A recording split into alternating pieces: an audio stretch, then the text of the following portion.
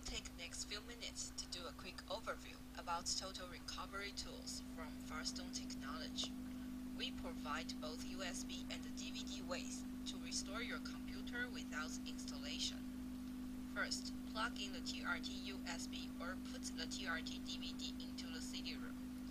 Choose to boot with a CD-ROM or USB to get into our recovery manager. You will see Quick Launch on the interface. Add driver. To add driver when you are restored to a new computer without OS system. Mount image to restore your computer. Map network drive. You could also mount image file from network. Display the files and folders to see your files in a system crashed computer. Run applications from a command prompt. Check the hard disks to automatically fix file system errors.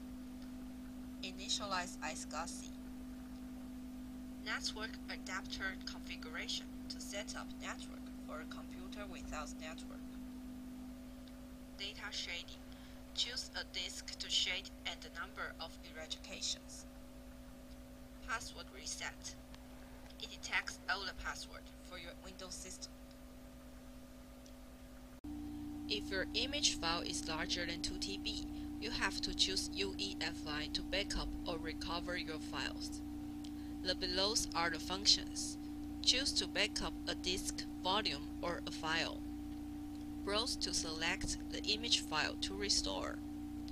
Drive clone to clone a hard disk to a hard disk or to clone partition.